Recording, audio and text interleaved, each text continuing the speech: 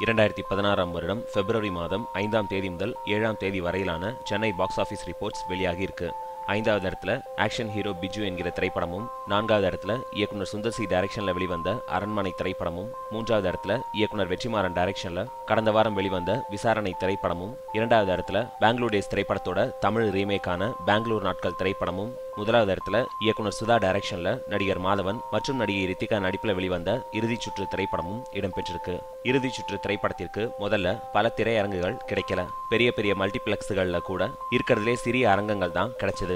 படத்திற்கு முதல் வாரத்தில் கிடைச்ச வரவேற்பை தொடர்ந்து திரையரங்க எண்ணிக்கை அதிகரிக்கப்பட்டு மல்டிப்ளெக்ஸுகள்லையும் பெரிய திரைக்கு படம் மாற்றப்பட்டிருக்கு. அரண்மனை இரண்டு திரைப்படம் தமிழகத்துல மட்டும் முதல் பத்து நாட்களில் இருபது கோடிகள் வசூல் செஞ்சிருக்கிறதா அறிவிக்கப்பட்டிருக்கு.